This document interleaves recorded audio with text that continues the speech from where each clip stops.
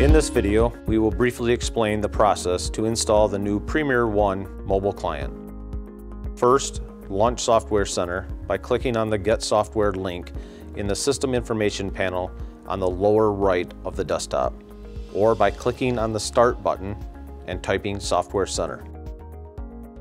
In Software Center, click on the search box in the upper right and type Premier One. Then click on Premier One CAD Standalone Uninstaller 3.3.1.7936 CU12B. Click Install, wait, then click Uninstall.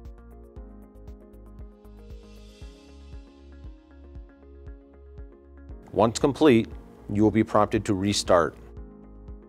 Once restarted, log in as normal you must connect to NetMotion, otherwise the new Premier One will fail to install correctly.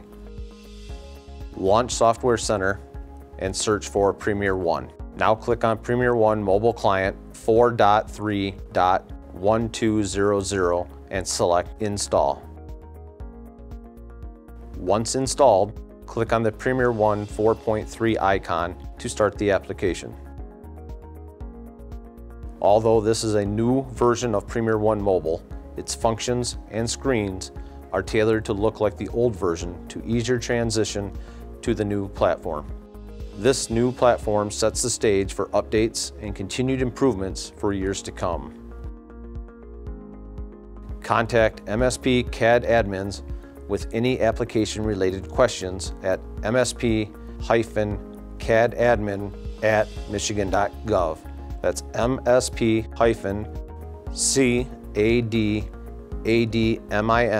at michigan.gov. If you have issues installing or logging in, please contact the MiCJIN Help Desk at 1-877-264-2546.